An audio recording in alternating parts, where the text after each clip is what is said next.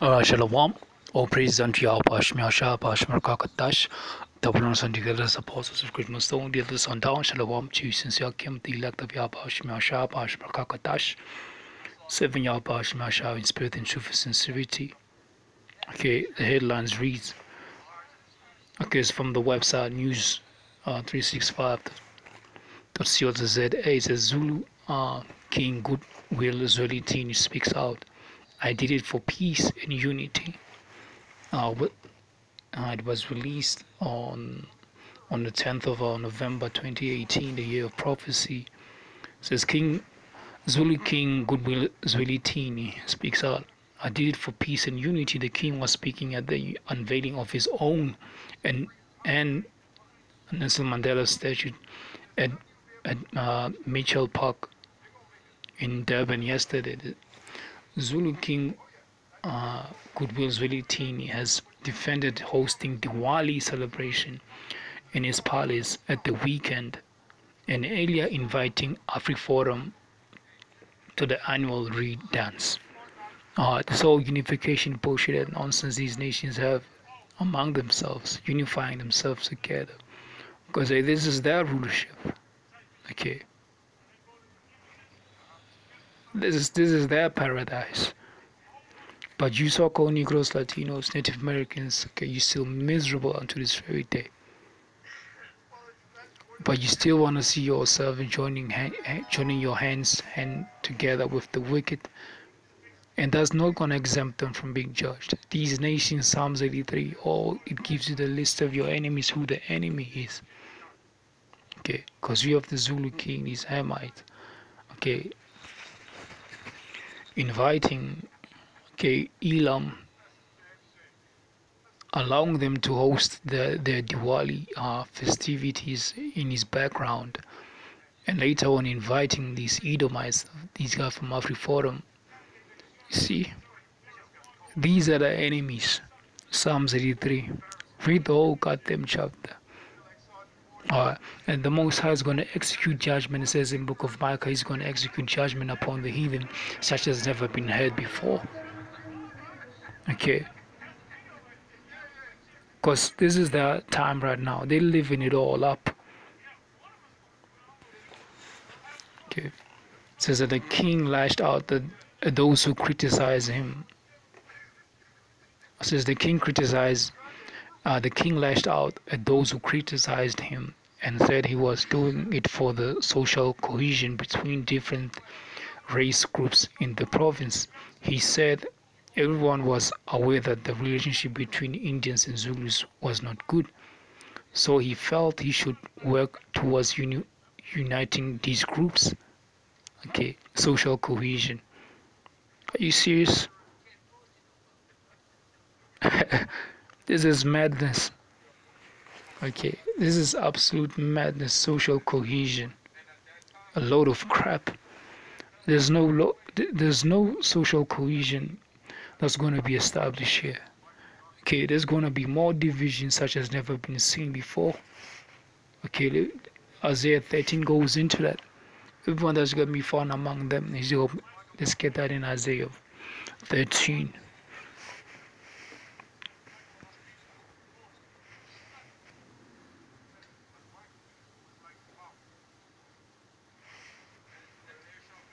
Uh, this is the book of Isaiah, chapter 13. Okay.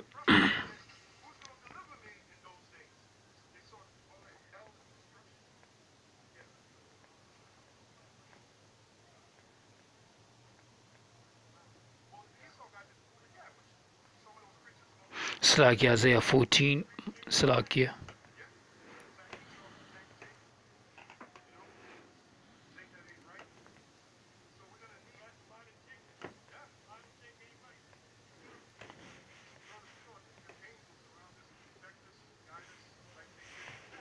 Uh, this is the book of Isaiah, chapter 14. Here we go.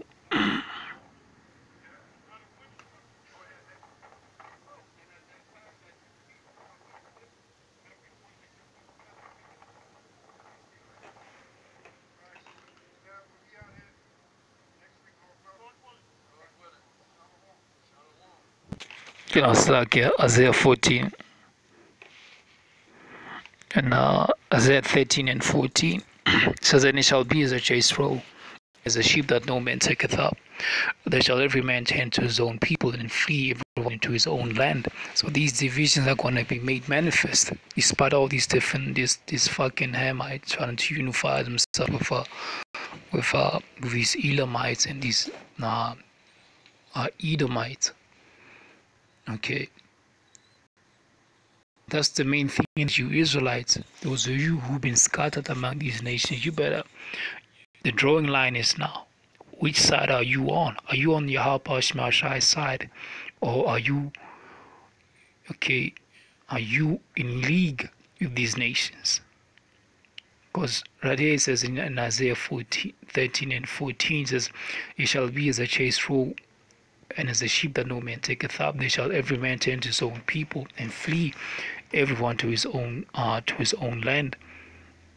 Okay, it says, and he shall be says, uh, everyone that is found shall be thrust through, and everyone that is drawn unto them shall fall by the sword.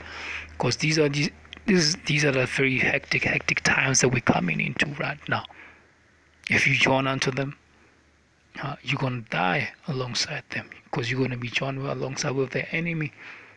But the thing is, if you are of the elect of Yahweh and as an Israelite of Yahweh Shemiashai, Galatians 6 and 16, you're going to be saved, you're going to be kept safe. That's the importance of taking heed unto the word of Yahweh Shemiashai, given and, and, and given through his mouthpiece, his servants, the prophets, okay, on hours and hedges during the week, during these different sit downs, these different lessons, okay preaching the word of Yahweh Shemashah, the gospel of repentance unto the lost sheep of the house of Israel, which are so-called Negroes, Latinos, Native, Native Americans who've been scattered among these different nation, nations. Okay, if you have this mentality that uh, Queen Zwelithini has, okay, you, you, you're not gonna make it.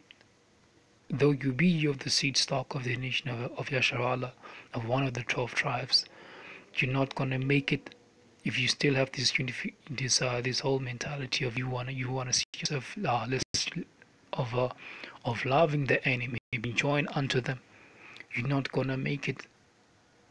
You're gonna be thrashed through. You're not gonna make it. Isaiah 13 and 15. Everyone that is found shall be thrashed through, and everyone that is joined unto them shall fall by the sword. You're gonna die horrible, miserable death. The Lord says, I will begin to, to, to judge the, the circumcised with the uncircumcised. Alright, you scattered among these nations, you better take heed unto the warning. The warning is right now. In the kingdom to come, there won't there won't be any form of this unification.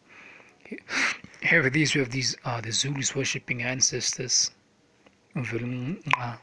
all these different idols that they worship. We got Elam worship these different gods, and they're unifying themselves together. In you have Esau. On the other hand, this is confusion. This is absolute confusion. Let's get this in Zeph- Zephaniah.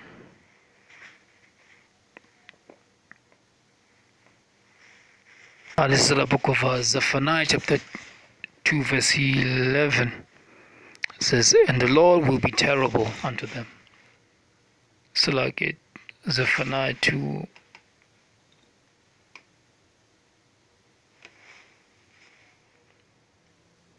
okay this is zephaniah 2 and 11 says and the lord yahweh shemashah will be terrible unto them. For he will famish all the gods of the earth. These newly gods which are newly created this says in book of deuteronomy uh, 32 okay they sacrifice un, un, unto devils not unto yahweh shemashah. These gods which are newly created okay. Says zephaniah 2 and 11 for the lord yahweh shemashah will, will be terrible unto them for he will famish all the gods of the earth and all men shall, shall worship him every man from his place okay. Because you nations this this this thing of nations coming together it only brings nothing but pure confusion and that's the end result what we see happening in the society uh, come on, let's live peaceful, peacefully with one another. But but yet our value systems are not the same. How the hell can we live together? That causes confusion. Somebody must be wrong. Somebody must be right. Okay, it says if Zephaniah 2:11 says, "For the Lord will have, will be terrible unto them, for he will furnish all the gods of the earth, and and men shall worship him, every one from his place, even all the isles of the heathen." Okay, you nations, you going back to where you you going back to your different lands. We're not gonna have this fucking confusion that's happening around here in in South Africa. We have the Chinese, you got the Japanese, you got the, the East Indians, we got Elam.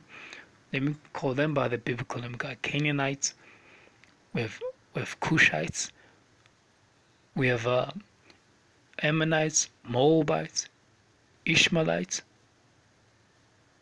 uh, Elamites, all these different nations that are here, Edomites. Okay, that's all confusion. It's a cesspool of confusion, man. All these different gods, these different these different idols that have been have been worshipped, these idols of these different nations. The Yahweh Shemashah, he's gonna wipe them clean. He's gonna remove them, man. There shall be only one Lord that's gonna be worshipped, Yahweh Shemashah, and none else in that day not this fucking nonsense that's happening all of this gonna be is gonna be done away with very soon. And the next thing that the major thing that's gonna happen after that is gonna you Esau Edom Esau called men descendants and your descendants Afrikaners Dutches Europeans the British the English the Portuguese. Okay white Americans, you're going to be eradicated. You're going to disappear off the face of the earth. And once that happens, all you nations, you want to still be divided according to lot, to your different lots. Okay, let's get that in Deuteronomy 32 and close off. All right, let's the book of Deuteronomy, chapter 30, 32, and uh, 32 and uh, verse 8 okay it says when the most high divided to the nations their inheritance so he divided all these nations their own inheritance their different lands the, the, the so-called africans which are hamites got the so-called continent of africa which is the land is the land of ham according to the scriptures north africa. Okay you're not africans you're hamites and amongst you got israelites. This is for those who've been scattered among you those who are of the elect says Deuteronomy 32 and 8 says when the most high divided the na- to, to the nations their inheritance when he separated the sons of adam he set the bounds of the people according to the number of the children of israel. Okay different boundaries. Okay. Those so so those those exact same boundaries are going to be be, be are reestablished very soon. Things are going to be divided once again because we're not supposed to uh, to be unified. That's why the tower of babel never ne never stood never got completed because it brings about confusion. And the flood came because of the rivalry that was happening and people unifying themselves to get having one mind one thought. That brings about wickedness on a, on a, on a high high level and things have gotten worse right now so Yahweh Shemashah is going to bring all this fucking madness into into an end. All praise unto Yahweh Shemashah Bashim Kakatash. The one answer here the supporters of great Muslim leaders on down salutation to the elect of Yahweh Shemashah Yahweh Shemashah Bashim Kakatash Prakatam. To the elect of, of the 12 tribes which are so-called Negroes, Latinos, Native Americans and your descendants who have been who've been scattered and you've been called by the word of the Holy One. Prakatam Shalom